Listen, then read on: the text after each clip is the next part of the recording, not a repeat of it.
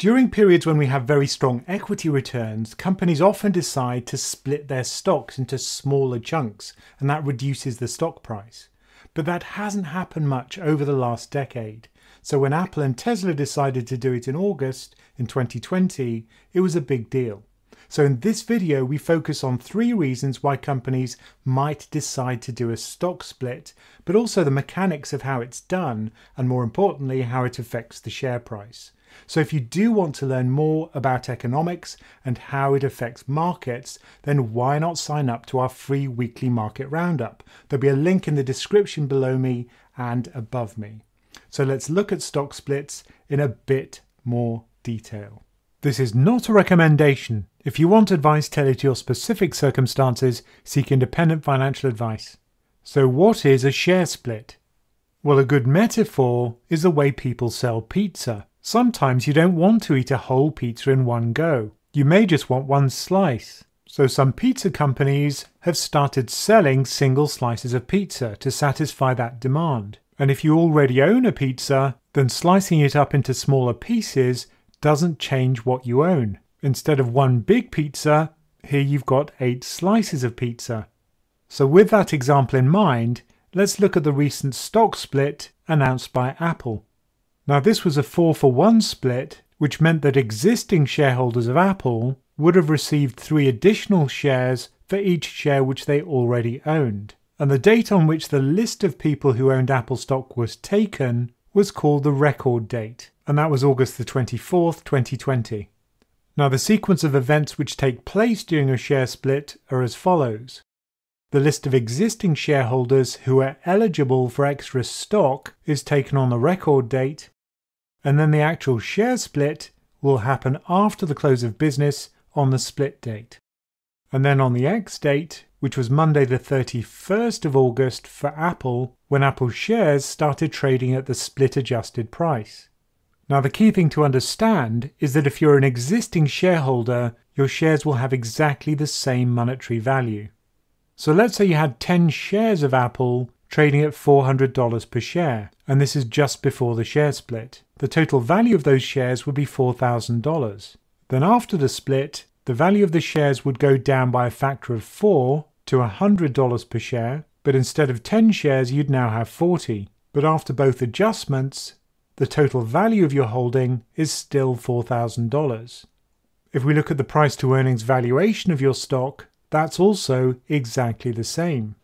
The price to earnings ratio is a very good way to value stock, and this is simply the share price divided by the earnings per share. In the stock split, the price will go down by a factor of 4. The total monetary value of the earnings is completely unchanged, but there are four times as many shares. So the earnings per share will also go down by a factor of 4, and consequently, the price to earnings will be exactly the same. If everything is effectively unchanged, then why bother to split at all?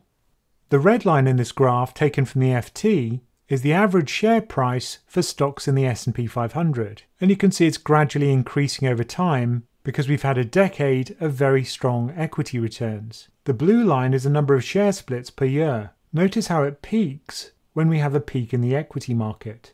So this was the dot-com bubble and this was the peak just before the global financial crisis. So when share prices are going up rapidly, that's when you tend to have more share splits. However, this latest bull run in the equity market for the last 10 years is fairly unusual in that there have been decreasing numbers of share splits. And that makes the decision by Apple and Tesla to do share splits in August 2020 quite unusual.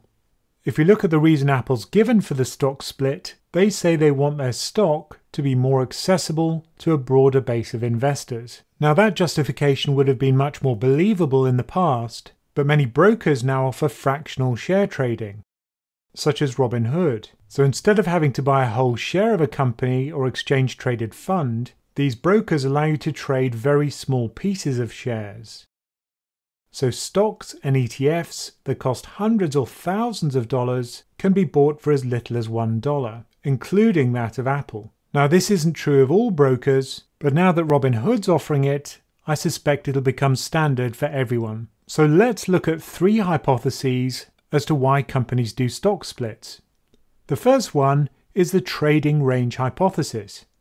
These are the stock prices of the 500 stocks in the S&P 500 as of the end of August 2020. They vary very widely, which is why the x-axis is a logarithmic scale with $1,000 on the right and $10 on the left. What you can see immediately is that most stocks trade at about $100. People are kind of keyed in to that $100 share price. So if your company's stock is trading at $1,000 or more, then it looks a bit weird. But if you then do a stock split, it'll take you into this sweet spot in the roughly $100 range.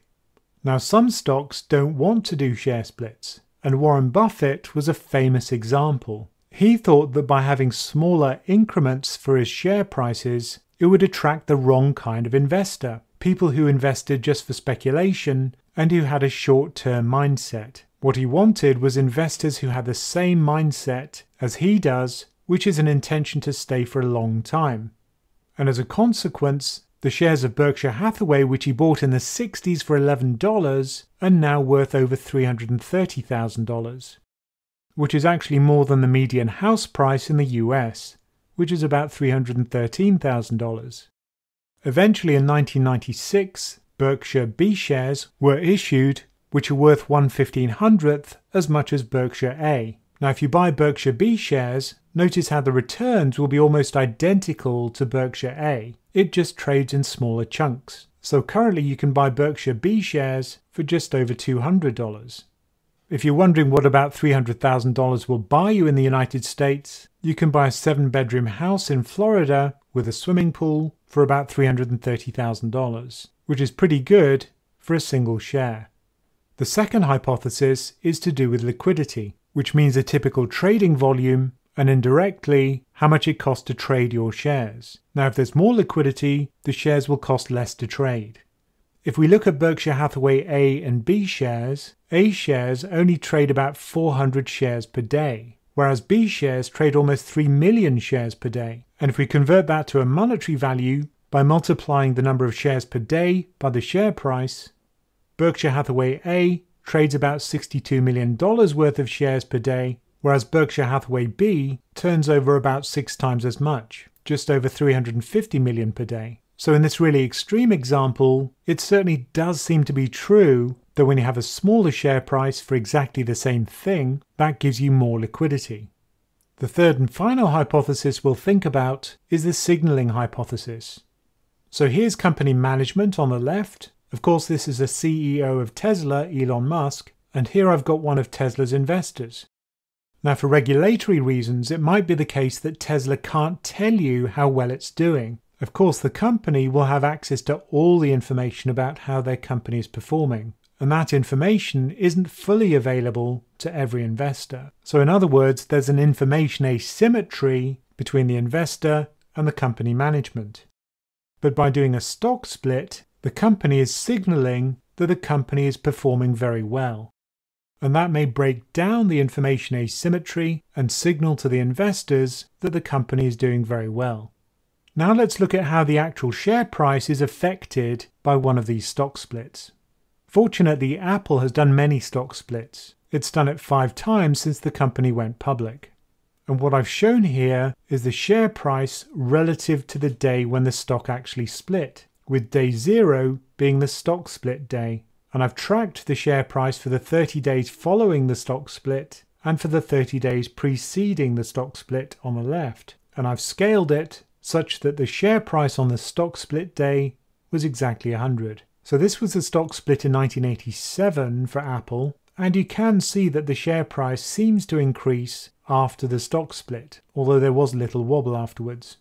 Then in 2000, there also seemed to be an increase in the share price leading up to the stock split. However, after this, there was a very severe fall in the price of Apple in the wake of the dot com bubble bursting. And in 2005 and in 2014, there was a steady run up in the share price leading up to the share split. Combining all of those into one graph and adding the latest share split in 2020 here in black, this seems to be the best run up that there's ever been. But statistically, to do this properly, you'd have to correct for factors like momentum and motion of the market overall. It may just be that equities were rallying during these periods. Someone who has done this properly is Gehini Joshi as part of her MSc thesis in 2014 at Tilburg University, and she focused on tech stocks between 2000 and 2013. Combining the returns of many stocks, she found something fascinating, which is that leading up to the announcement date, which is the graph in red, the share price increased after the announcement, and that effect was very significant. Whereas days later, when the actual stock split happened, the stock price movement didn't change significantly. So it seems like the signaling effect, which happens on the announcement date, is much more significant than the actual physical splitting of the stock. She also tracked the effect on the stock prices for a whole year after the splits and found significant increases in both the return on assets and the liquidity of the stocks. She also tested the trading range hypothesis which is the idea that bringing the share into line with other stock prices makes it more attractive to investors and thereby widens the shareholder base, so more people are able to buy the stock. And what she found was that the trading range hypothesis wasn't supported by her data, and neither was the widening of the shareholder base, which is somewhat surprising given that the shareholder base hypothesis is the justification most commonly given by companies for doing stock splits in the first place. So now let's look at Tesla based on what we've learned. They announced their stock split, which was a 5 for 1 stock split, on August the 11th, 2020. And their justification, which is fairly standard, was that this would make stock ownership more accessible to employees and investors of Tesla. The record date would be August the 21st, and the stock split date was August the 28th, with the shares first trading at their new lower price on August the 31st. So here's the new share price of Tesla, which is five times smaller than it was before the split, adjusted backwards in time. And I've shown it here since the beginning of 2020. The dash red line was the announcement date, and the dash blue line was the date when the stocks actually split. And as we've seen, the announcement itself seems to be the trigger for the increase in the share price, whereas the physical splitting of the stock seems to be less significant. The momentum actually reversed after the split. And if we look at the trading volume for Tesla in millions of shares traded per day, that also seems to increase on the announcement date and then it stays high all the way through the actual stock split, which doesn't seem to cause a secondary increase. So it's interesting that most of the share price increase comes after the announcement, which is unpredictable, rather than the stock split itself, which is predictable. And that means that it's very difficult to trade around those announcements for most people. But also, it's interesting that you do get an increase in the share price for a whole year after the stock split. That may not be because the stock split increases the price, but it's because it's a signal that the company's doing well. If you enjoyed that video and you want to support us, then why not join our online community? You get access to all sorts of goodies, such as our online chat application Slack, where you can ask questions of me or any other members of the community. And you get to join our Sunday evening live call, where you get to ask questions of me and I answer them live as best I can. And you get access to a growing video library, which is only available to Patreon supporters. And alongside those videos, you also get notes which allow you to follow the links and research topics in more detail for yourself. So if you do want to support us and get access to all those goodies, just click on the icon for Patreon on the far side of this page. And as always, thank you for listening.